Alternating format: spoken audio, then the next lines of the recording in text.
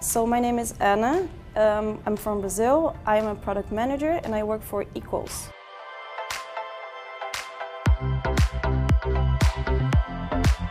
I think that in four days they completely changed the way that I think and even how I express myself. So I feel very um, prepared to go back home and talk to my CEOs and prove my points. MIT used to be a dream when I went to college. But my father passed, so I couldn't come. And um, coming from a small city in Brazil, it just, I feel like I'm in a movie.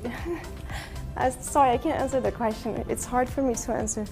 It's very emotional because it's such an, I feel like I'm in the middle of so many beautiful and incredible minds that they um, inspire me to go back home and try to bring that kind of uh, dreams back to other simple people that they don't dare to dream this big. So I am trying to improve my career and I think that to be honest, being a woman in a very um, men related place, in a very man dominant place, you know, coming to a prestigious uh, school will make me look good, honestly. So I think that's pretty much, it's not an ego thing, but I do think it's going to help me come out as more mature in the middle of so many men. at least where I'm from, if you make this investment, and my company is not paying for this, it's from my own pockets, you have to dive in deep. So I do feel that I've stayed here longer every night and I worked harder and I talked to more people than most of my, cl my classmates because they're kind of used to it.